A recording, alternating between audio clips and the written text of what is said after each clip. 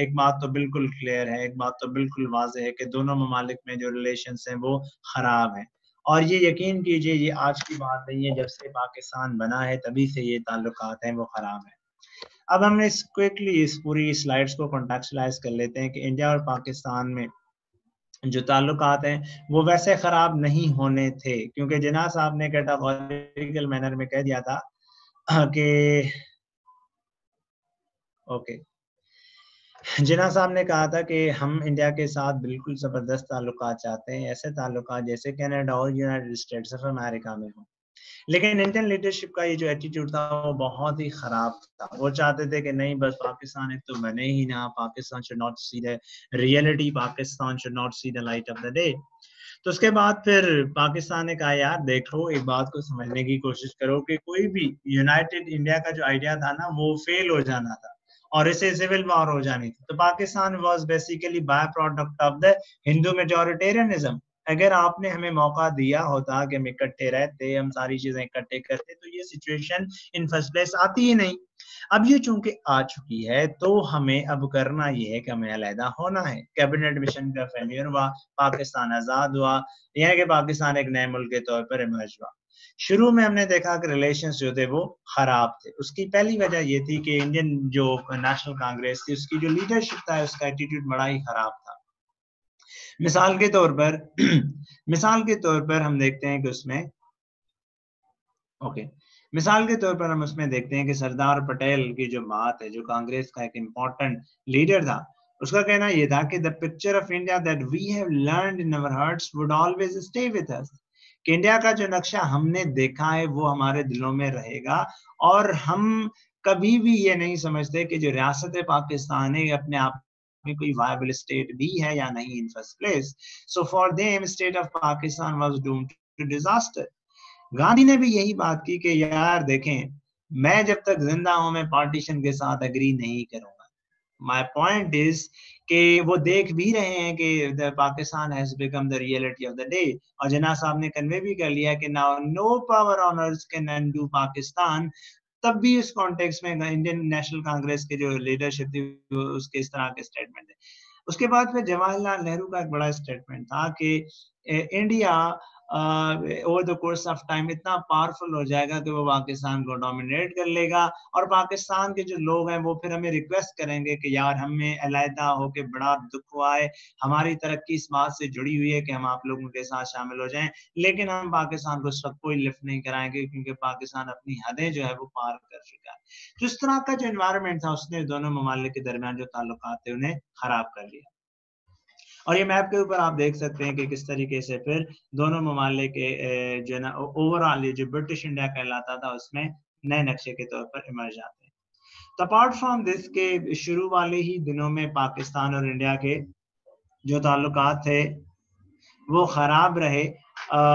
बुनियादी एलिमेंट ये था कि नजरियाती तौर पर, जो कि पॉलिटिकल स्टेटमेंट्स में से भी हम देख देख रहे हैं कि नजरियाती इख्तलाफ कि दो कौमी नज़रिया अपने आप में खराब है, ऐसा कोई नज़रिया नहीं एग्जिस्ट करता। मुसलमानों का कहना यह था कि इस्लाम की बुनियाद पर कौम बन सकती है।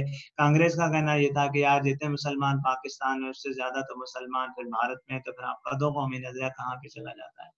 तो पाकिस्तान ने कहा कि हम ये नहीं कहते कि इतने सारे मुसलमान जो है वो भारत में रह गए इतने इससे ज़्यादा मुसलमान तो फिर हमें दिखाई देते हैं कि अरब वर्ल्ड में भी है तुर्की में भी है रूस में भी हर जगह पे मौजूद है। लेकिन क्या वहाँ पे रहकर वो अपनी distinct cultural identity distinct religious outlook maintain कर रहे हैं या नहीं कर रहे? क्या वो हिंदू के साथ इंटरमैरी करते हैं? क्या वो हिंदू जैसे लिबास पहन के उन, उनके जो त्यौहार हैं उन्हें सेलिब्रेट करते हैं या जो इस्लामी त्यौहार है उन्हें सेलिब्रेट करते हैं? क्योंकि ये चीज़ें कल्चर के एहसास होती है। ज़ुबान महज एक एक इलाकाई तावन के हवाले से होती है। अदरवाइज़ जो इम्पोर्टेंट एलिमेंट है कल्चर को डिटरमिन करने का, यहाँ के कॉन्टेक्स्ट में नेशन को डिटरमिन करने का, वो तो है ही मज़हब। तो यूँ यूँ ये डिबेट दोनों ममालिक में चलती गई, यूँ ताल्लुक खराब हो गए पार्टीशन के दौरान ट्रांसफ़र ऑफ़ पॉपुलेशन ने दोनों ममालिक के दरमियान ताल्लुक खराब कर लिए, जिसको हल करने की कोशिश की गई, लियाकत नेहरू पैक्ट के तहत, लेकिन कोई इसका फ्रूटफुल रिज़ल्ट नहीं आया। लाहौर में आपको जो इलाका है एक नज़र आएगा जैन मंदिर वाला। मैं आपको एक छोटी सी मिसाल देता हूँ कि how two communities engage with each other 1991 में uh, 1992 में शायद जब बाबरी मस्जिद के ऊपर अटैक किया गया उसे शहीद किया गया तो लाहौर में जैन मंदिर को जो है वो जो है ना तबाह किया गया था। अब ये this is the tit for tat move कि यार अगर आप उधर यहाँ पे आप सुनते हैं कि यार हिंदुओं के जो मंदिर हैं वो गिराए गए हैं तो this is basically a tit for tat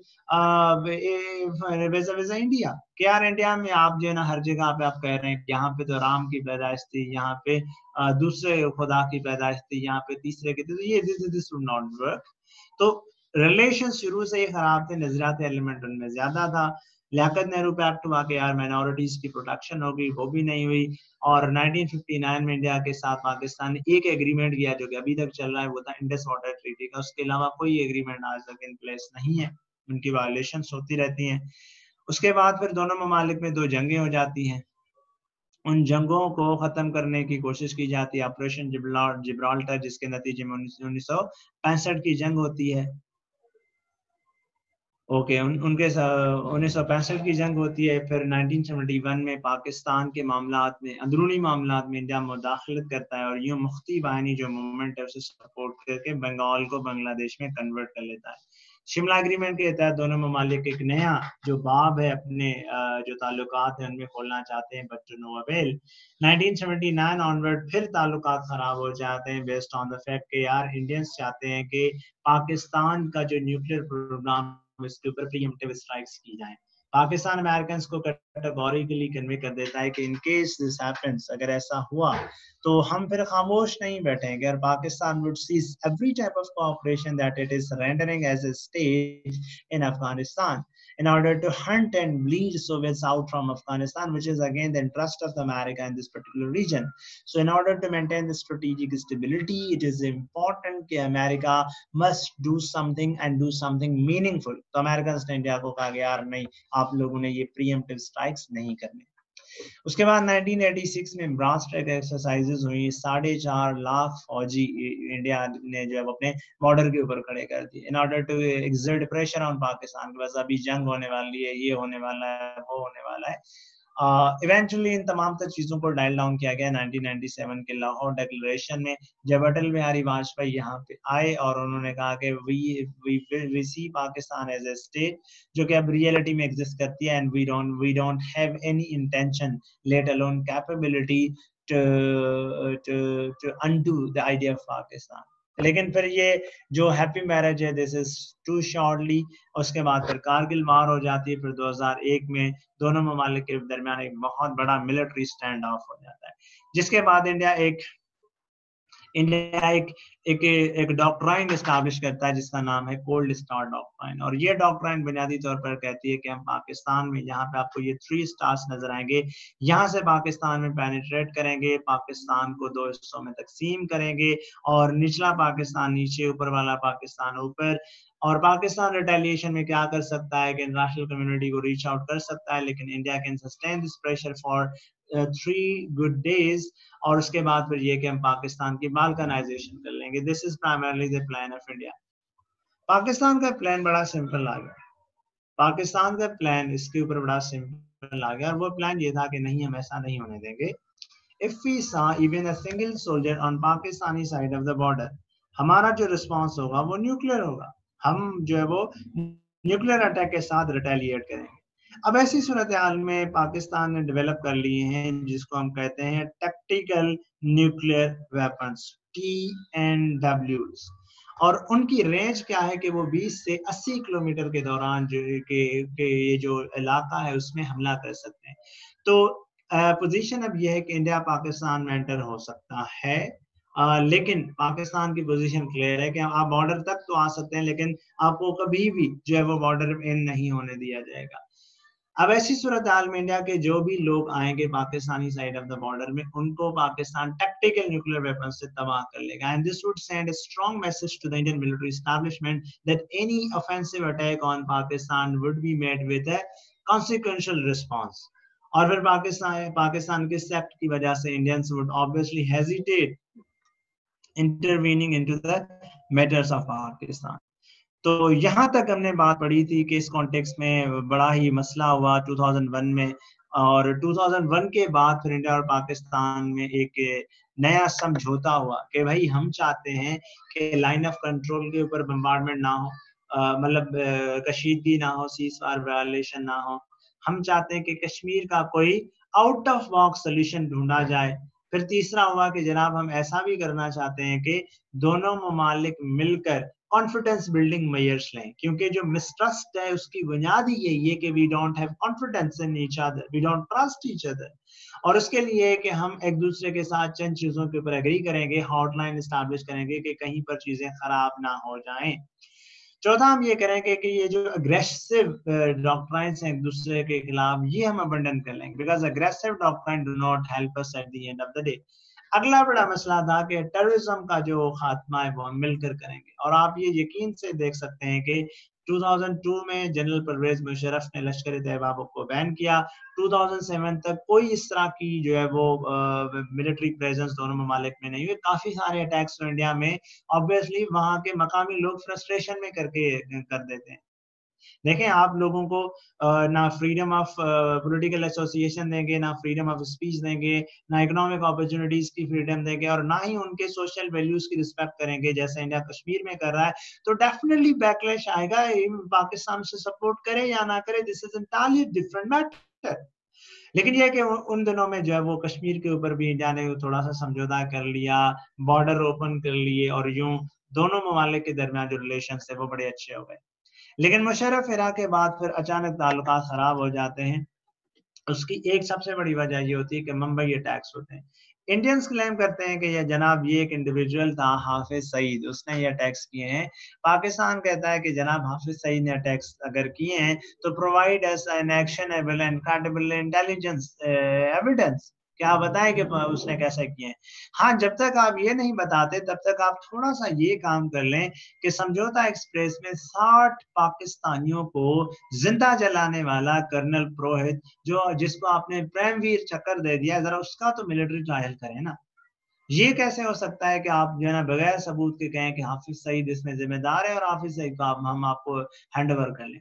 आप कर्नल पुरोहित को जरा यहाँ पे हैंड ओवर कर लेना तो हम उनकी थोड़ी सी बात, उनसे थोड़ी सी गुफ्तगु कर लें, उन्हें कुलभूषण जाधव से भी मिला लें, भाईचारे में उन्हें पता चल जाएगा कि who is who and what is what in Pakistan तो वहाँ पे इंडियंस फिर खामोश होते हैं अब 2011 ऑनवर्ड इंडिया का मसला ये है कि पाकिस्तान के साथ वो ताल्लुक रखना चाहते नहीं जो हक की बात है, जो सच की बात है। और ये ताल्लुक मजीद खराब होते हैं 2014 में, जब प्राइम मिनिस्टर मोदी पावर में आ जाता है। मैंने इसके ऊपर एक आर्टिकल भी लिखा है कि what does Modi 2.0 mean for Pakistan तो प्राइम मिनिस्टर मोदी जब से पावर में है 2014 से लेके 18 तक, उसमें क्या क्या हुआ? उसका एक खुलासा आप सुन लें। उड़ी अटैक हुआ, पठानकोट अटैक हुआ उसके बाद मुख्तलिफ़ जगहों पे कश्मीर में अपराइजिंग हुई। इंडिया ने उसका रिस्पांस एक तो डायरेक्ट ये दिया कि Pakistan is behind those attacks 410 TV channels हैं इंडिया में। सब लोग अर्नब गौसमी की ये लैंग्वेज बोलते हैं कि Pakistani terrorist infiltrated into Kashmir. Pakistani terrorist and so on आतंकवाद ये पाकिस्तान से चला रहा है। सो so, एक नैरेटिव बिल्डिंग पाकिस्तान के खिलाफ करने की कोशिश की। सेकंड कश्मीर की जो राइट टू सेल्फ डिटर्मिनेशन की मूवमेंट है, उससे एक दहशतगर्द मूवमेंट डिक्लेयर करा लिया और अमेरिका की मदद से वहाँ के लोगों, बेचारे मुसलमानों को उन्होंने दहशतगर्द डिक्लेयर करा लिया ताकि उन्हें क्लीन चिट मिल जाए कि यार you can kill them with cruelty and call it justice तीसरा इंडिया ने यह किया कि इंटरनेशनल फोरास के ऊपर पाकिस्तान को आइसोलेट करने की कोशिश की।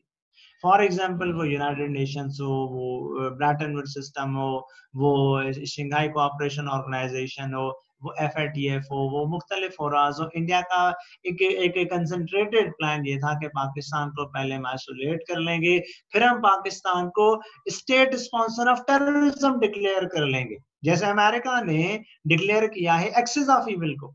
एक्सेस ऑफ़ इविल में कौन कौन सी स्टेट्स हैं? नॉर्थ कोरिया आ जाता है। ईरान आ जाता है इराक आ जाता है, बाद में लिबिया और सीरिया भी इसमें ऐड किए गए। तो दिस uh, uh, वॉज़ नहीं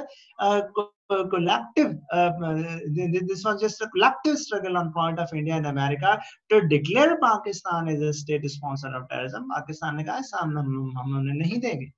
पाकिस्तान ने कहा कि अगर तुम लोगों के पास सबूत है तो लाओ वो सबूत। कहाँ पे है सबूत? तो कोई सबूत नहीं है। तो 2018 तक ये जो ताल्लुकात हैं, ये आपको इसी रूह में नज़र आएँगे, जैसे बिल्कुल खराब है और उनमें कोई पेशरफ नहीं अब 2018 में जो ताल्लुक है ना, वो तो और भी खराब हो। गए और वो ये खराब हुए इस बात के ऊपर कि prime minister Modi had to come to political powers in India again political corridors of India again अब उसे इलेक्शन जीतने के लिए मुद्दा क्या चाहिए?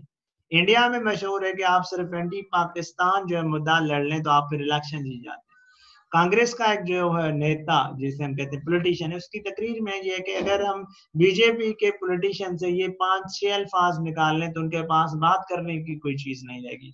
पाकिस्तान उनसे निकाल लें, आतंकवाद उनसे निकाल लें, कश्मीर उनसे निकाल लें, मुसलमान उनसे निकाल लें, और फिर चीन, पाकिस्तान का और फिर इंडिया के खिलाफ जो इतिहाद है, उसे निकाल लें तो इंडियन नैरेटिव बिल्कुल बिल्कुल फ्लंक कर जाता है। ऐसी सूरत हाल में प्रधानमंत्री मोदी ने जब देखा कि domestic audience is not in favour to vote for him तो definitely India has a last ditch effort के I blame Pakistan for everything that goes wrong in India कोई कबूतर भी इंडिया में परमा ले तो ये कहने के यार ये पाकिस्तान ने किया। तो पाकिस्तान और इंडिया के दरमियान एक बड़ा मसला हुआ फेबर ट्वेंटी सिक्स को। उससे पहले फेबर फोर्टीन को, मुझे याद है, हम पेपर दे रहे थे और उस दिन ये बड़ा मसला पेश आया था। फेबर फोर्टीन टू को इंडिया में जो है वो CRPF central reserve police force जो कि कश्मीर से, से वहाँ पे गुजर रही थी उसके ऊपर उसकी कानवाई के ऊपर अटैक हुआ। 45 केजी से ज़्यादा मवाद था जिसकी मदद से ये अटैक किया गया। अब सवाल पहले तो ये पैदा होता है कि ये अटैक हो गया तो इंडिया अच्छा पहले मैं आपको ये इवेंट एक्सप्लेन कर लू। तो उनके उसके ऊपर हमला हो गया 45 लोग उसमें मारे गए और इंडिया ने अभी यहाँ से डायरेक्टली पहले तो ये कहा कि Pakistan is behind that attack Pakistan में उस वक्त जो है ना वो मोहम्मद बिन सलमान आए हुए थे। उन्होंने कहा कि यार पाकिस्तान ने कहा कि यार हम तो ठीक है, अभी थोड़ी सी खामोश इख्तियार कर लेते हैं, मेहमान आए वो चले जाए, फिर हम इस चीज़ का हिसाब किताब ले लेते हैं। Number one number two Pakistan ने कहा कि यार आप हमें डायरेक्टली ब्लेम कर रहे हैं। आपने अपना सिक्योरिटी लैब्स को कभी एनालाइज किया ही नहीं। दस लाख फौजी इंडिया में कश्मीर में मौजूद हैं। दस फौजियों के दस लोगों के लिए एक फौजी है भाई कहाँ पे आप खड़े तो उसके बावजूद इतनी बड़ी मिलिट्री प्रेजेंस के बावजूद भी ये जो अटैक हुआ ये कैसे हुआ? So Radha pointing fingers towards Pakistan, India needs to look in look uh, look inside. अपने गिरेबान में झांकने की ज़रूरत है, वरना पाकिस्तान उसके गिरेबान में झांकेगा। तीसरा कि इसकी टाइमिंग बड़ी इंपॉर्टेंट है। पाकिस्तान चाहेगा क्योंकि यार, आपके घर मेहमान आए हुए हैं और आप चाहेंगे किसी पॉइंट के ऊपर जो है वो हमला करा दें। मतलब हाउ इज़ इट पॉसिबल कि आप अपनी इंटरनेशनल इमेज में रीब्रांडिंग करने की कोशिश करें और ऐसे क्रिटिकल मोमेंट्स के ऊपर आप उस रीब्रांडिंग को जो है वो तब्दील करने के जा रहे हैं। अब उसके नतीजे में हुआ ये कि इंडिया ने कहा कि नहीं नहीं जी, हम पाकिस्तान को दबोच लेंगे, हम पाकिस्तान के ऊपर सर्जिकल स्ट्राइक्स करेंगे मेरियल स्ट्राइक्स करेंगे, हम पाकिस्तान के खिलाफ कोल्ड स्टार डॉक्ट्राइन लेके चलेंगे और कश्मीर में हम लिमिटेड एरियल स्ट्राइक्स करेंगे। तो रात को उन्होंने जो है वो दो तैयारे जो है वो भेज दिए और पेलोड गिरा के वो चले गए। अब जो लोग उस वक्त थे अर्बन सेंटर्स में, मैं तो लाहौर में था उन दिनों तो हमने देखा कि किस लेवल की, हम पेपर से फ्री बैठ थे ट्वेंटी थर्ड फेब को हमारा आखिरी पेपर हुआ था सी एस एस का। हमने वो बिल्कुल ऑन ग्राउंड देखा और हमें खुद गुस्सा था कि यार, ये इतना डिफेंस बजट ये दस बिलियन डॉलर ये कर किधर रहे हैं? रात को आए वो, बस बमबारी करके चले गए। और ये इधर सुबह जो है ना, दरख्त काउंट कर रहे हैं कि यार, एक कौवा, एक दरख्त, दो गज ज़मीन गिरी ये क्या मार अब पाकिस्तानी स्टेट के लिए और खासतौर पर खुद मिलिट्री एज इंस्टीट्यूशन के लिए ये सर्वाइवल का मसला है। तो ऐसी सूरत हाल में पाकिस्तान ने फिर ऑपरेशन जो सिर्फ़ रिटॉर्ट है, वो प्लान किया और पाकिस्तान ने जो है वो जो कि डॉग फाइटिंग है उसके अंदर पाकिस्तान ने पहले उन उन जगहों को जहाँ पे इंडियन हेडक्वार्टर है, उसके करीब जो है ना बम धमाके किए। और उसके बाद फिर पाकिस्तानी जहाज़ वापस आए। अभिनंदन भी वहाँ से उड़ा और फिर उसे लेके आए पाकिस्तान में और यूँ इंडिया के दो जहाज़ गिर गए, एक पायलट पकड़ा गया। No this was just a position that actually change the narrative India के लिए बड़ी कॉन्सिक्वेंशियल पोजीशन थी। याद रखें इंडिया हमेशा पाकिस्तान के साथ ये चाहता है कि one zero India one Pakistan zero अब पाकिस्तान ने कर लिया कि नहीं इंडिया वन पाकिस्तान वन वो कैसे? इंडिया ने हमला कर लिया फेबर ट्वेंटी सिक्स को। इंडिया ने पूरा प्रेशर इस्तेमाल किया कि पाकिस्तान मस्ट नॉट रिटेलिएट क्योंकि अगर पाकिस्तान ने रिटेलिएट कर लिया तो पूरा जो नैरेटिव है वो तबाह हो जाएगा। पाकिस्तान ने कहा कि अगर हम नहीं रिटेलिएट करेंगे तो अवाम हमें जिस तरीके से इस्तेमाल करती है अवाम हमारे ऊपर अंडे फेंकेंगे, हमारे ऊपर टमाटर फेंकेंगे। ऑब्वियसली हकीकत है, ये कैसे मुमकिन है कि यार आप सॉवरेनिटी वायलेट हो जाए, आप नेशन स्टेट है और आप फिर खामोश बैठे रहे। ठीक है? ऐसे लोगों को कैसे अवाम छोड़ सकती है? हम और आप तो उन्हें नहीं छोड़ेंगे। जो इस तरह का कोई रिस्पॉन्स ही ना दे कि आपको कोई जो ना इस तरह की धमकियाँ देके चला जाए। तो पाकिस्तान ने अब कर लिया वन वन। अब इंडिया को समझ आ गई कि नहीं। और ये रिपोर्ट न्यूज़ इस तरह से हुए मैं इस इवेंट के ऊपर से बात कर रहा हूँ कि ये बड़ा सिग्निफिकेंट इवेंट हुआ है दोनों ममालिक के दरमियान नई एक मिलिट्री अंडरस्टैंडिंग डेवलप करने में, नए रिलेशन डेवलप करने और वो रिलेशन है खराब, लेकिन उससे चंद चीज़ें बड़ी मालूम पहली चीज़ ये मालूम हो गई कि Pakistan would not submit to the Indian hegemony in South Asia even if America is supporting India in all its forms and manifestations second Pakistan ने ये शो करा लिया कि हम इंडिया के साथ पेरिटी चाहते हैं, हम इंडिया के साथ ये वन वन सिचुएशन करेंगे। अब इंडिया ने कहा कि नहीं, अब हम तीन जो है ना मीजाइल्स पाकिस्तान के ऊपर लॉन्च करेंगे। एक हम वहाँ इसमें जो है वो यार ये कौन सा इलाका है जहाँ पे ये रहते हैं जैश मोहम्मद के चीफ रहते हैं? बहालपुर। बहालपुर में एक हम अटैक लॉन्च करेंगे, एक हम कराची के ऊपर हमला करेंगे और एक हम जैकबाद में करेंगे। अब जैकबाद में पता नहीं क्या है, इसके ऊपर आपने ढूंढना है, कहीं न्यूक्लियर वेपन्स तो वहाँ पे डिप्लॉय नहीं किए गए, ये थोड़ा सा आपने देख लेना है। कि हम इन तीन शहरों को तबाह करेंगे। आपको पता है पाकिस्तान ने क्या रिस्पॉन्ड दिया था? कि हम नौ शहरों को तबाह करेंगे। हम एक अटैक का जवाब हम तीन अटैक्स के साथ देंगे, हम ईंट का जवाब पत्थर के साथ देंगे। तो फिर इंडिया जो है ना वो रुक गया और पाकिस्तान ने फिर कहा कि चले पायलट को रिलीज़ करते हैं। अब पुलवामा अटैक जब अपने आप में ये शो कर गया कि Pakistan is just not just another Arab country and India is not the Israel ठीक है इंडिया कोई इतना बड़ा मुल्क नहीं है कि वो बस हमारे ऊपर आए, हमला करके चला जाए।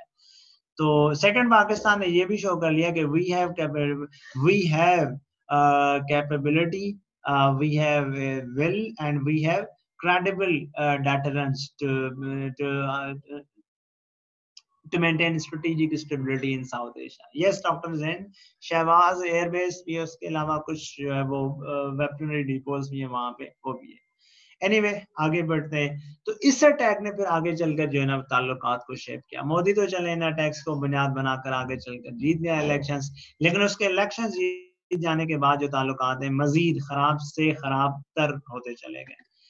अब यहाँ पे हम थोड़ा सा कंक्लूड कर लेते हैं इस बात को कि मोदी ने इलेक्शन जीत लिए पाकिस्तान ने ये सच कर लिया कि यार चलें ठीक है, पहले ताल्लुकात इसलिए खराब थे कि मोदी इलेक्शन जीतना चाहता था, लेकिन वो जैसे ही पावर में आ जाएगा ना, वो बड़ा अच्छा बच्चा है, वो हमारे साथ जो है वो ज़बरदस्त ताल्लुकात रख लेगा। लेकिन हकीकत तो कुछ इस तरह से सामने आई कि Modi two point prove to be night for Pakistan. उसने आते ही आर्टिकल 370 रिवोक कर लिया। उसने आते ही पाकिस्तान को एक्सलरेट करने की जो कंपेन थी, दोबारा से इनिशिएट कर ली।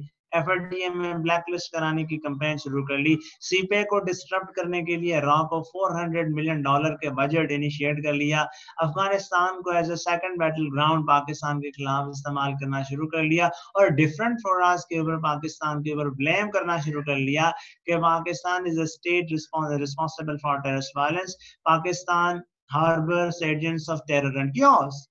अब ये वाला जो पूरे का पूरा सिनारियो था दैट वाज टू कॉन्सिक्वेंशियल और यहाँ से फिर ताल्लुकात खराब हो ये फिर 2019 तक का सिनारियो है, कश्मीर के मामले के ऊपर दोनों के दरमियान ताल्लुकात खराब है। अब देखें, एक अंडरस्टैंडिंग होती है क्रोनोलॉजिकल अब ये हमने अंडरस्टैंडिंग कर ली क्रोनोलॉजिकल मैनर में। एक दूसरी अंडरस्टैंडिंग होती है कि जी आर्ग्यूमेंटेटिव अंडरस्टैंडिंग वो भी हम थोड़ी सी देख लेते हैं। अब मैं एक चीज़ की तरफ़ आपको लेके जाऊँ कि इंडिया और पाकिस्तान के ऊपर ना एक क्वेश्चन पूछा गया है पीस प्रोसेस के हवाले से। तो इंडिया और पाकिस्तान में 1997 में एक पीस प्रोसेस के ऊपर एग्रीमेंट हुआ था, जिसको मुशरफ की हुकूमत ने एग्री करके आगे कंटिन्यू किया था। और उसका नाम था कंपोजिट डायलॉग प्रोसेस या eight point composite dialogue process उसमें ये आठ पॉइंट से आप देख सकते हैं कि पीस एंड सिक्योरिटी होगा। इंडिया ने कहा कि जनाब, हम पहले कश्मीर नहीं रखेंगे, पहले पीस एंड सिक्योरिटी पाकिस्तान ने कहा, चलो यार, ठीक है, हम जम्मू कश्मीर को बाद में कर लेते हैं।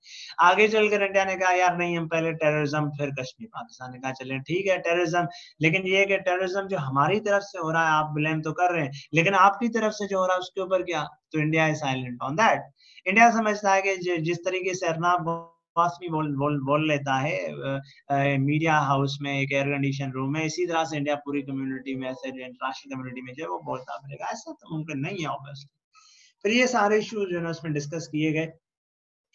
फिर इसमें दो और इश्यूज़ भी ऐड किए गए, वो पहले आप लिख लें, फिर हम एस्केलेशन लेटर को डिस्कस कर लेते हैं कि 2015 में अगेन uh, 2017 में बल्कि जब दोनों ममालिक को शिंघाई कोऑपरेशन ऑर्गेनाइजेशन का मेंबर बनाया गया तो दो पॉइंट्स और भी इसमें ऐड कर लिए गए। एक का नाम था पीपल टू पीपल कॉन्टेक्ट और दूसरे का नाम था religious tourism and humanitarian issues अब ये सारे के सारे पीस प्रोसेस के पॉइंट्स हैं लेकिन अभी तक जो ये जो पीस प्रोसेस है वो स्टेलमेट का शिकार है। इवन इफ़ पाकिस्तान ने करतारपुर स्प्रेड के तहत करतारपुर कॉरिडोर भी कॉरिडोर भी खोल लिया है जो कि पाकिस्तान और इंडिया के ताल्लुक के लिए सिग्निफिकेंट अचीवमेंट है गिवन द कॉन्टेक्स के इंडिया और पाकिस्तान के दरमियान इतने बड़े सारे इशूज हैं। एक सवाल पैदा होता है कि क्या इंडिया और पाकिस्तान में कभी न्यूक्लियर वॉर हो सकती है या नहीं? उसके लिए आप थोड़ी सी एस्केलेशन लेडर देख लें। ये एक थेरी है एस्केलेशन लेडर डोमिनेंस थेरी आपने अगर ये पुलवामा क्राइसिस फॉलो किए होते या अगर आप किन किन भी दो ममालिक के दरमियान इवेंट्स को फॉलो करें तो उनमें अगर जंग हो जाएगी तो ये वो जो जंग का स्कोप होगा, वो यूँ होता है। पहले किन भी दो ममालिक में होती अनकन्वेंशनल वॉर जिसे हम प्रॉक्सी वॉर कहते हैं, जैसे पुलवामा टाइप अटैक हुआ, वो फ्लैग ऑपरेशन भी होता है, यानी कि आपने खुद प्लान किया, हमला करा लिया, ताकि आपको एक एक्सक्यूज मिल जाए दूसरी पार्टी के ऊपर हमला करने के लिए।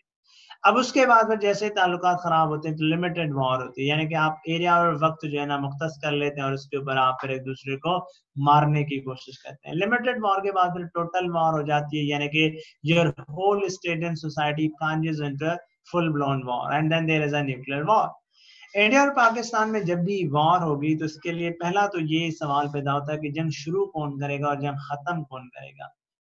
मुख्तलिफ़ इसमें थेरीज है। पहली थेरी ये कि यार ये जो जंग है ना, वो हमेशा इंडिया शुरू करेगा।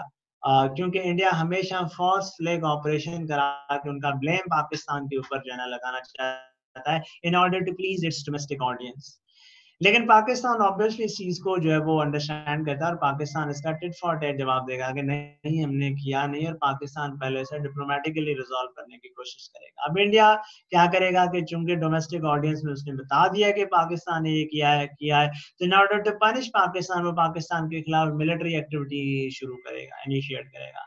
जैसे ही मिलिट्री एक्टिविटी इनिशिएट होगी there will be a tit for tat scenario as you witnessed in the post Pulwama crisis in February 27 in the context of operation swift dot अब ऐसी सूरत हाल में एक तो बात अब वाजे हो गई है कि यहाँ पे स्ट्रेटेजिक स्टेबिलिटी मेंटेन रहेगी। अब इंडिया जब देख लेगा कि यार हम पाकिस्तान के ऊपर हमला कर रहे हैं one zero one two one फिर थ्री टू ये इस तरह का सिनेरियो अचीव नहीं हो रहा तो फिर इंडिया क्या करेगा? लिमिटेड वॉर की तरफ़ जो है ना तेज़ी से बढ़ता जाएगा। अब पाकिस्तान ज़्यादा देर के लिए लिमिटेड वॉर नहीं लड़ सकता, Pakistan would go all out और टोटल वॉर शुरू कर लेगा। जैसे इंडिया भी टोटल वॉर में आ जाएगा, ऐसी सिचुएशन में now the regional countries would intervene specifically China would come come come there वो शुरू से भी आएगा, लेकिन वो पहले डिप्लोमेटिक होगा, लेकिन बाद में वो फिर openly would take side of Pakistan and that this is something that we are damn sure और प्राइमरली जो कि आजकल इंडिया और चाइना के दरमियान तनाजा चल रहा है उसके कॉन्टेक्स्ट में भी it is obviously clear that two countries are on same page when they look at India, specifically the expansionist designs of India. उसके बाद फिर obviously there are chances of nuclear war तो सिम्सन कार्टून्स हैं उसमें कुछ predictions की गई हैं कि पहला जो धमाका है वो पाकिस्तान इंडिया के ऊपर करेगा। फिर इंडिया पाकिस्तान के ऊपर अटैक करेगा, दोनों ममालिक तबाह हो जाएँगे। हमारा ख्याल ये है कि जो हमारा ईमान है कि पाकिस्तान इंडिया के ऊपर ना सिर्फ़ न्यूक्लियर अटैक करेगा, हम इतनी अखलाकी ज़रूरत भी रखते हैं और इतनी कैपेबिलिटी भी रखते हैं और पाकिस्तान इंडिया को जो है ना तबाह कर सकता है। चीन अगर तबाह करे ना करे, इंडिया को पाकिस्तान ज़रूर उसे तबाह करेगा, क्योंकि हमारी फिलोसफी एक ही है कि हम तो डूबेंगे, सनम को लेके डूबेंगे। तो यहाँ पे हमारा जो पार्ट वन है गुफ्तु का वो एंड हो रहा है और just join this meeting after one minute and we will continue this debate from there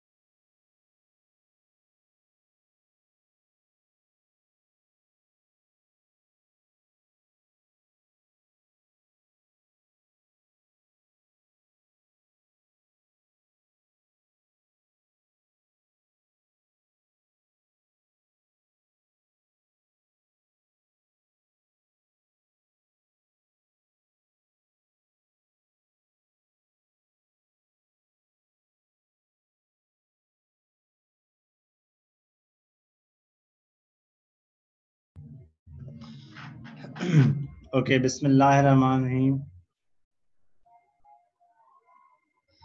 शुरू करते हैं हम लिमिटेड पार्ट इसका कि क्या फिर दोनों ममालिक के दरमियान जो रिलेशंस हैं, अब क्या हैं, क्या ख़राब हो सकते हैं, क्या सही हो सकते हैं? अच्छा सिनेरियो ये है कि अब आपने इस क्वेश्चन को थोड़ा सा जहन में रखना है। अच्छा मैं रिकॉर्डिंग शुरू कर लूँ। यार वॉइस ये रिकॉर्डिंग याद ला दिया करें, ये आपके हक में बेहतर होगी। Critical analysis of relations from 2015 to 19 हमने ये कर ली है कि मोदी 1.0 जैसे ही पावर में आता है और फिर 2.0 पावर में आ जाता है तो फिर किस तरह की सिचुएशन हो जाती है।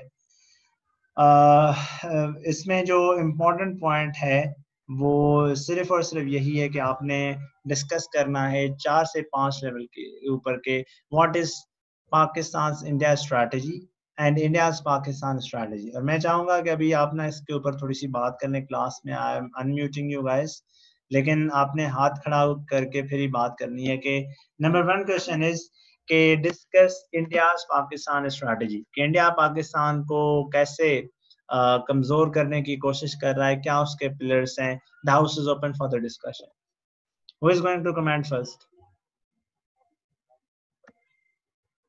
भाई, कोई तो हाथ खड़ा कर ले। किसी ने तो किसी ने तो बोलना है। ओके सवाल सब लोगों को आ गया है समझ में कि what is India Pakistan strategy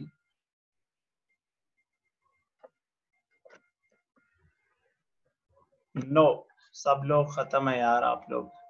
Waseem Ahmed yes go ahead please hello sir आवाज़ आ रही है सर बिल्कुल आवाज़ आ रही है। आपकी थोड़ा सा आप और ऊँचा बोलने तो हमारे लिए और आसानी हो जाएगी। Yes Waseem Aman go ahead yes sir जैसा कि सर आपने कहा इंडिया की स्ट्रेटेजी सर तो जो बीजेपी की स्ट्रेटेजी होगी वही इंडिया की होगी। और जो बीजेपी की स्ट्रेटेजी है वो सबसे पहले यही है कि पाकिस्तान को आइसोलेट करना है डिप्लोमेटिकली डिप्लोमेटिकली जो भी इंटरनेशनल फोराज हैं उसमें पाकिस्तान को आइसोलेट करना है।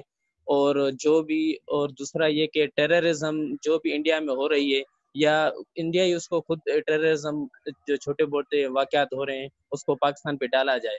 और दूसरा ये कि जो उसकी, जो हिंदुता हिंदुता जो पॉलिसी है, वो उस हिसाब से है।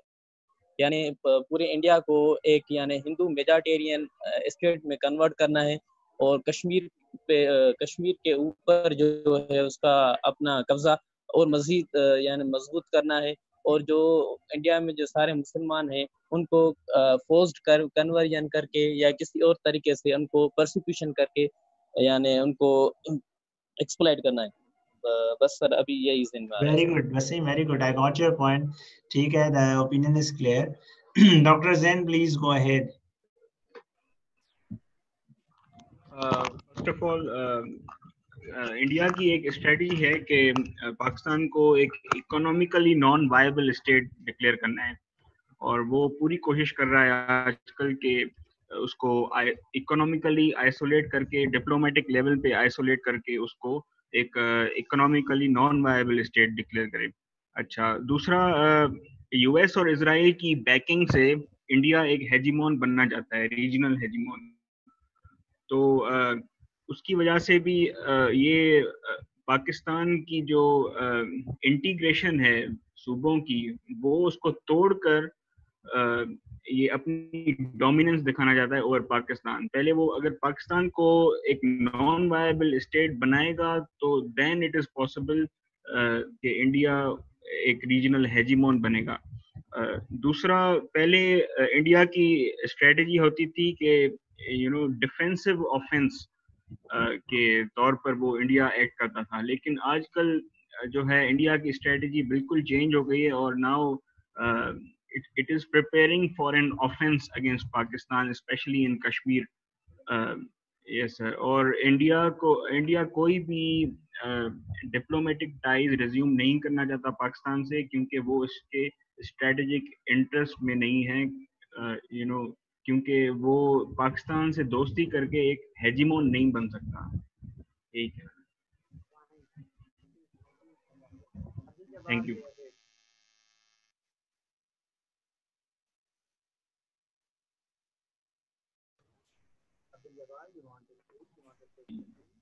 yes.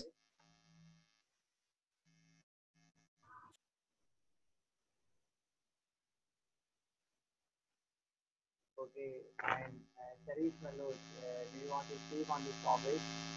Uh, Sharif uh, mic belongs to you. Please go ahead, otherwise we will not be Aslam sir, uh, sir, वैसे आपकी आवाज़ साफ़ नहीं आ रही uh, as you said that before कि इंडिया का शुरू दिन से ही यही मौके पर रहा है क्या अगर हिस्टोरिकल बैकग्राउंड में देखें तो शुरू दिन से टू नेशन थ्योरी और हिंदू के अगेंस्ट दो चीज़ें चली हैं। तो हम इसको पहले नेशनल लेवल पे देखेंगे, फिर रीजनल लेवल पे देखेंगे, फिर इंटरनेशनल लेवल पे देखेंगे। रीजनल लेवल पे वो रीजनल लेवल पे नेशनल लेवल पे जैसे कि वो इंसर्जेंसीज बलूचिस्तान के पी के और कराची जैसे कि मार्जर मूवमेंट सारे हमारे सामने हैं। और नेशनल लेवल पर रीजनल लेवल पर जब देखेंगे तो रीजनल लेवल पे सीपे को कंटेन करने की कोशिश कर रहा है through by back of USA जिसमें कई ऐसे, जैसे कि चाबार पोर्ट के साथ एक लोगों ने फैक्ट किया हुआ था।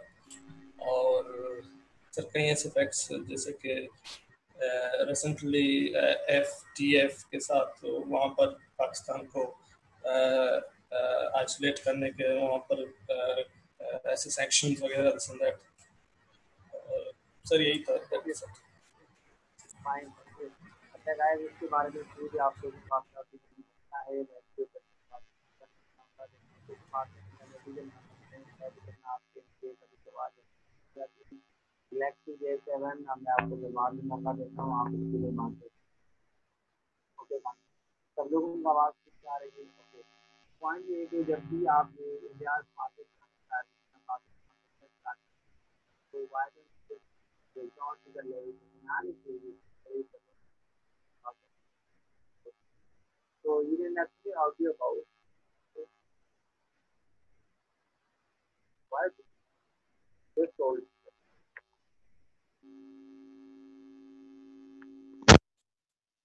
Am I audible now? Am I audible?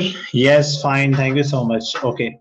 Okay okay I I got your point अच्छा जब भी आप बात कर लें कि what is India's Pakistan strategy या पाकिस्तान से इंडिया स्ट्रेटजी तो you must outline all these things into different levels of analysis कि पॉलिटिकल लेवल पे economic social religious regional international national level मैं क्विकली आपको बता दूँ कि what is India Pakistan strategy political India चाहता है कि Pakistan should be a politically unstable state और उसके लिए इंडिया पाकिस्तान में मुख्तलिफ़ जो पोलराइज पॉलिटिक्स के लिए एथनो पॉलिटिकल ग्रुप्स हैं, उन्हें अलहदगी के लिए प्रॉप अप कर रहा है। Specifically in past is supported Mukti Bahini movement and the eventual led to the establishment of the Bangladesh currently it has been fully supporting GS and Qawmi Mahas, for example, Baloch Republican Army, for example, insurgents and uprising in Fatah, the violence in Gilgit-Baltistan, and the changing of narrative in, in Pakistan's Kashmir, jisko Mazad Kashmir kehte. On economic level, as Dr. Zain pointed out, India doesn't want to see Pakistan a state जो कि economically viable हो। क्योंकि India समझता है कि यार nuclear attack से जो मर नहीं सकता, वो एक ही तरीके से मर सकता है कि उसको पैसे ही ना हो जीने के। खुदकशी कर लेगा जब वो तो तभी जो है ना वो आगे जो है वो सिचुएशन जो है ना वो सामने आएगी। तो India is trying one thing and that is particularly clear कि ए पाकिस्तान को अमेरिका की मदद से इकोनॉमिक जो है वो जो है वो वो जो टफ टाइम है, वो दिया जाए थ्रू ब्रैटन वर्ड इंस्टीट्यूशन पाकिस्तान को एफ़ की ब्लैक लिस्ट में जो है वो करवाया जाए नाम डलवाया जाए और उसकी ग्रे लिस्ट में हमें दस बिलियन डॉलर का एनुअल नुकसान हो रहा है तो आप इमेजिन करें कि अगर ब्लैक लिस्ट में नाम आ गया तो क्या से, क्या सिचुएशन हो सकती है। फिर इकोनॉमिकली इंडिया की ये भी कोशिश ये है कि जो बायोलेटरल ट्रेड है, वो खत्म किया जाए रीजनल जो जियो इकोनॉमिक्स है, वो खत्म की जाए और जो सी का पोटेंशियल है, उसे किसी हद तक जो है ना मिनिमाइज करने के लिए अहम किरदार अदा किया जाए। सिक्योरिटी लेवल पे इंडिया की पाकिस्तान स्ट्रेटेजी है कि लाइन ऑफ़ कंट्रोल के ऊपर परमानेंट सीज फायर वायलेशन हो, एक सिक्योरिटी नैरेटिव एक स्ट्रेटेजिक नैरेटिव ये शेप शेप किया जाए कि it is Pakistan that is part of the problem not the India फिर ये कि सिक्योरिटी लेवल पे India is supporting different terrorist groups in Afghanistan and elsewhere to hunt Pakistani security officials out कि यार उनको जो है ना मरवाया जाए, उन्हें शहीद कराया जाए।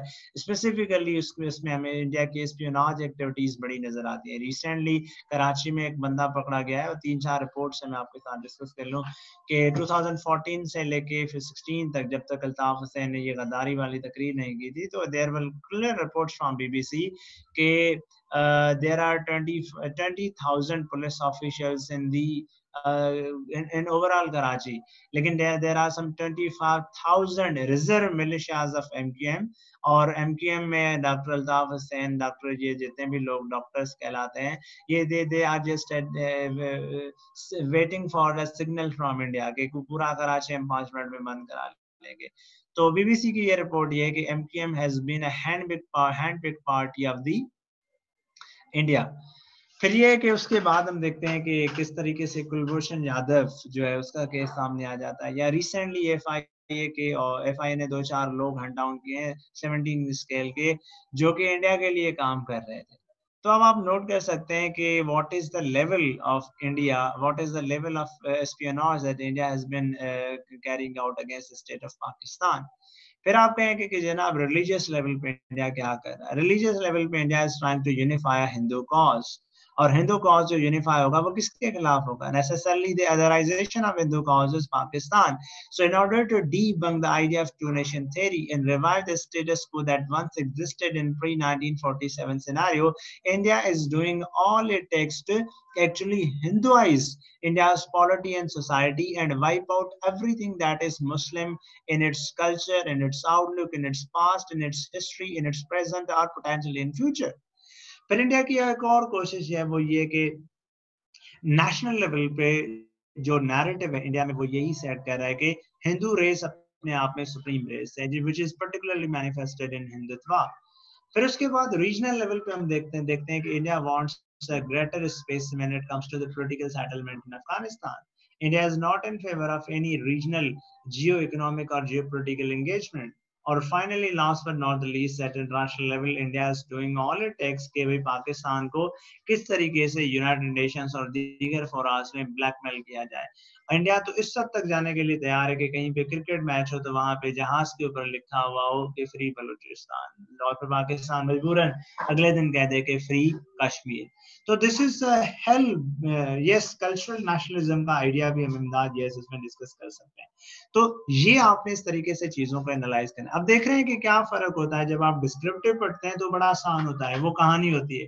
उन्नीस सौ सैंतालीस में ये हुआ, पचास में ये हुआ, पैंसठ में ये हुआ, लेकिन वही बातें जब आपसे कही जाए एनालाइज करें आप उन्हें तो मेजोरिटी ऑफ़ द एस्पायरेंट्स उसमें फिर कंफ्यूज हो जाती है कि यार इस पे क्या बात हो? हालाँकि इसके ऊपर बात करना कोई बात मुश्किल नहीं having address this particular question हम एक और चीज़ की तरफ़ जाते हैं कि यार इंडिया का पाकिस्तान के साथ अमन होना क्यों ज़रूरी है?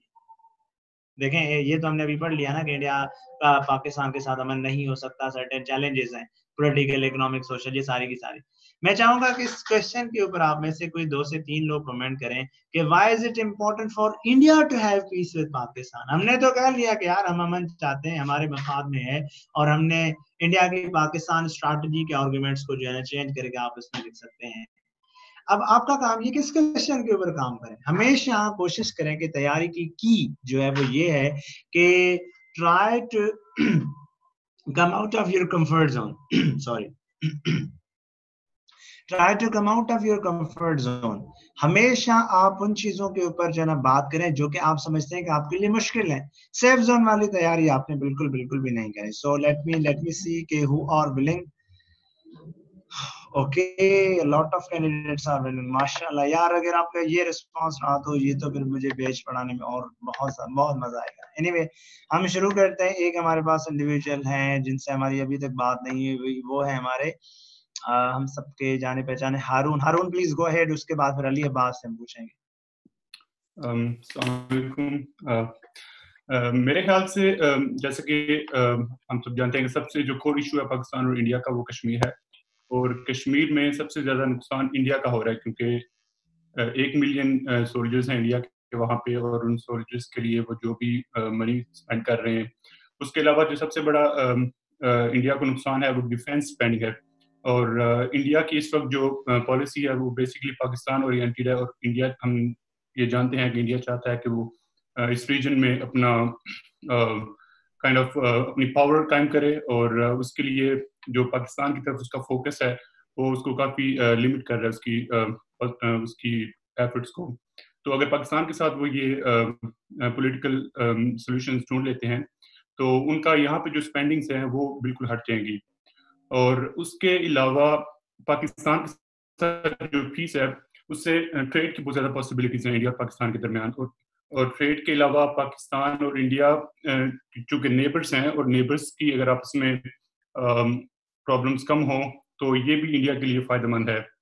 और इसके अलावा जो एथनिक प्रॉब्लम्स हैं जैसे हम जैसे हम इंडिया को ब्लेम करते हैं, वो पाकिस्तान में एथनिक कॉन्फ्लिक्ट वगैरह उठा रहे हैं। इस तरह पाकिस्तान भी इसी तरह के कॉन्फ्लिक्ट में इन्वॉल्व है। हमने भी इंडिया में बहुत से स्पाइस वगैरह छोड़े हुए हैं। जैसे कि आप नॉर्थ इंडिया में तो खैर नहीं साउथ इंडिया में प्रॉब्लम्स चल रही हैं। उसके अलावा सिखों का जो इशू था। तो मेरे ख्याल से ऑल इन ऑल अगर पीस पाकिस्तान और इंडिया के दरमियान में होता है तो पाकिस्तान को तो इसका फ़ायदा है ही है लेकिन इंडिया को मेरे ख्याल से हमसे ज़्यादा फ़ायदा है। इसमें इकोनॉमिक फ़ायदा भी है इनको पॉलिटिकल भी इनको फ़ायदा है। और इस एरिया में अपनी हेजमनी कायम करने के लिए वो चाइना को बेहतर तरीके से कम्पीट कर सकता है। थैंक यू इसके बाद इसके ऊपर कमेंट करेंगे Syed Ali Abbas please go ahead sir अगर हम देखना चाहें कि ये जो इंडिया और पाकिस्तान में पीस ज़रूरी क्यों है? तो उसके दो तीन या चार एस्पेक्ट्स हैं जो अडल्ट हैं जो इसकी वजह से पीस नहीं हो रहा। अगर हम उस चीज़ को करटेल कर दें या इसको काउंटर करें तो जो पीस है हम इंश्योर कर सकते हैं। सबसे पहले जो हर्डल में आ रहा है, जो पीस में वो ये है कि जो टेररिज्म जो है ना, वो बहुत ज़्यादा अब दोनों तरफ़ से अक्यूज हो रहे हैं। पाकिस्तान इंडिया को अक्यूज कर रहा था। इंडिया हमेशा टेररिस्ट एक्टिविटी को पाकिस्तान को अक्यूज कर रहा था। अगर हम इस चीज़ को कटेल कर दें तो हमारा पीस होता है और इससे हमें दो फ़ायदे होंगे। एक तो टेररिज्म खत्म हो सकती है तो उसमें कॉन्फिडेंस बढ़ेगा। दूसरा ये है कि हमारा जो कोर इशू है, जो कश्मीर इशू है, वो भी हल थोड़ा सा दिखाई दे सकता है। क्योंकि जब भी पीस टॉक्स हुई हैं जो प्रेम, शरफ और मनमोहन का 2000 2000 के बाद हुआ था उसका ये हुआ था कि हमेशा कोई ना कोई टेररिज्म एक्टिविटी आ जाती थी, जिसकी वजह से हमारा जो पीस स्टॉक है वो दोबारा से रुक जाता था। ये अगर हम इसको पीस स्टॉक को दोबारा अगर बढ़ाना चाहते तो हमें ये जो है ना कॉन्फिडेंस बिल्डिंग मैयर इसको दोबारा से रीन्यू करना चाहिए, जो दो हज़ार के बाद में किए थे। दूसरा ये है कि अब जो है कि वैसे भी जो दुनिया ये मल्टीपोलरिटी की तरफ़ जा रही है तो हम इसको ट्रेड ट्रेड के ज़रिए से इसको हम पीस को इनिशिएट कर सकते हैं। जैसे एक टॉपिक का प्रोजेक्ट है इससे हमें फ़ायदा हो सकता है। दूसरे ये है कि इंडिया का अफ़गानिस्तान में जो स्ट्रेटेजिक इंटरेस्ट है वो भी बढ़ रहे हैं। लेकिन पाकिस्तान को ये लग रहा है कि ये एक इंडियन एक चीज़ है कि वो स्क्वीज डाउन करना चाह रहे हैं पाकिस्तान को दूसरी तरफ़ से। ले, और ये भी इसमें कॉन्फिडेंस पे लेना चाहिए, पाकिस्तान को भी, इंडिया को भी, ताकि जो पीस है ना, उसको इनिशिएट किया जा सके। Okay thank you Ali Abbas इसके बाद हमारे पास अगले individual galaxy J seven Mohammad Khan go ahead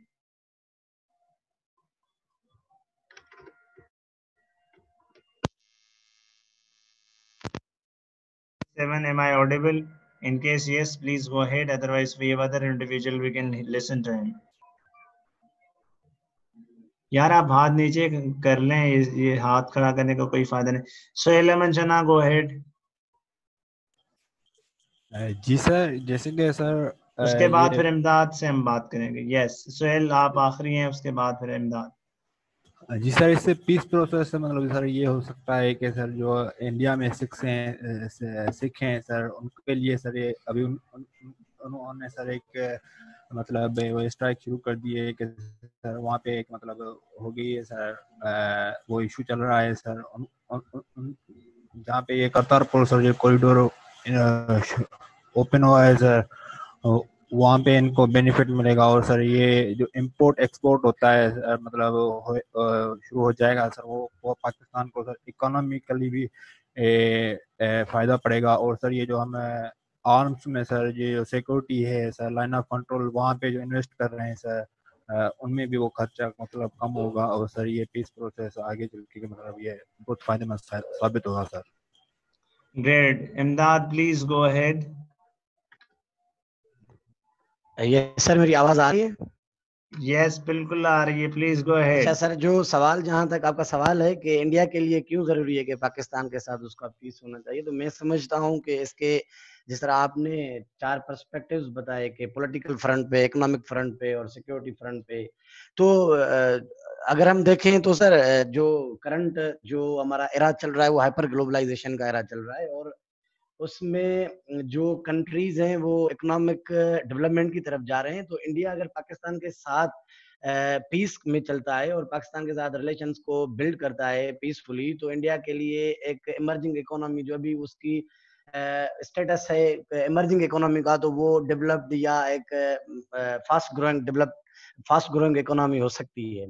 और पॉलिटिकल फ्रंट पे उसके विद इन इंडिया जो सेपरेटिस्ट मूवमेंट्स चल रही हैं और जो इंडिया में जो उसकी नेशनल इंटीग्रेशन को जो थ्रेड्स हैं डिफरेंट एंगल्स पे तो वो भी उसको कर्टेल कर सकता है। उसके बाद इकोनॉमिक परस्पेक्टिव में सबसे बड़ी इम्पोर्टेंट जो इंडिया को जो एक एडवांटेज हो सकता है पाकिस्तान के साथ रिलेशन बिल्ड करने में तो उसको एक पीसफुल नाइबर मिलेगा। क्योंकि एक मानी हुई हकीकत है कि you can change your friends but you can not change your neighbours उसके साथ ये है कि इंडिया का जो हाईली एम्बिशियस जो डिफेंस बजट है तो वो उसको कटल करने में मदद हासिल कर सक, वो एक एज प्रोवाइड करेगा। उसके बाद पाकिस्तान के साथ जो ट्रेड है उसका, जिस तरह हम एक एग्जांपल देते हैं कि पाकिस्तान के साथ इंडिया का जो एग्रीकल्चरल या जो मुख्तलिफ़ प्रोडक्ट्स यहाँ से एक्सपोर्ट होती हैं और वहाँ से इम्पोर्ट होती हैं तो वो भी उसको एक एडवांटेज मिल सकता है।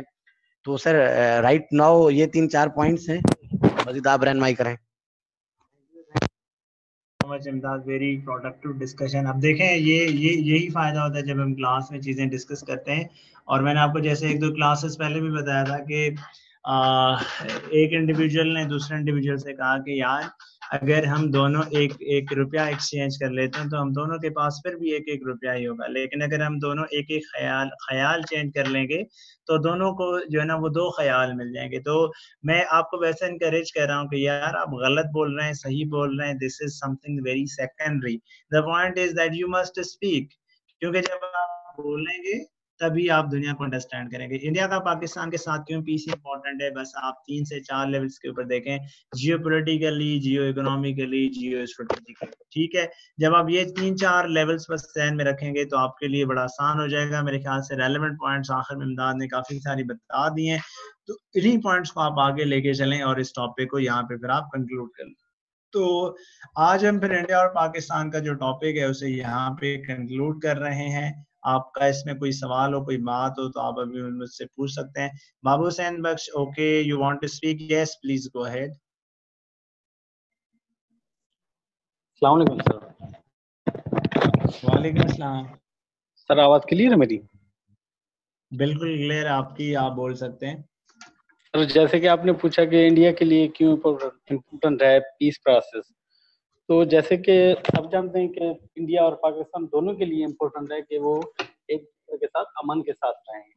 जिस तरह पाकिस्तान के लिए सबसे ज़्यादा ज़रूरी है कि इस टाइम पाकिस्तान इकोनॉमिकली काफ़ी लवर समेत एक नीचे तबके तक आ रहा है तो इंडिया तो इंडिया के लिए भी यही परेशानियाँ हैं।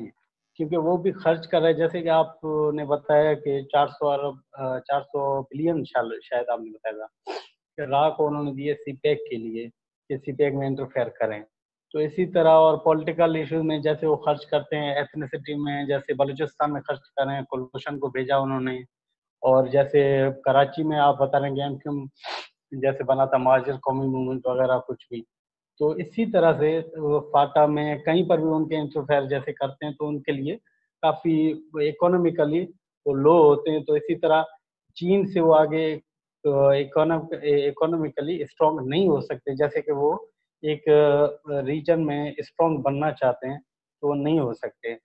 इसी तरह दोनों के लिए इम्पोर्टेंट है, पाकिस्तान और इंडिया के लिए दोनों के लिए। सर थैंक यू सर दो क्वेश्चंस पूछे गए व्हाट इज़ हिंदुत्व ये मैं आपके साथ कल कश्मीर में डिस्कस करूँगा।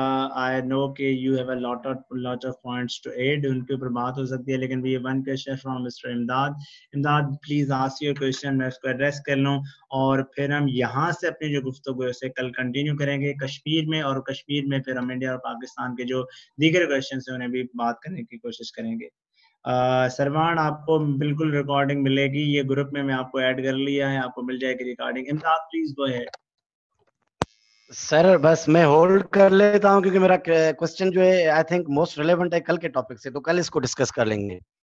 सॉरी फॉर इनकन्वीनियंस ग्रेट हम फिर कश्मीर वाला जो टॉपिक है उसमें कल डिस्कस करेंगे और उसमें हम इंटरनल फैक्टर्स को और एनालाइज करेंगे क्योंकि these two topics are relevant to each other in different contexts. So I'm very much hopeful that you guys enjoyed this discussion. On this note, we end the class. See you guys tomorrow at 6.40 p.m. or 6.45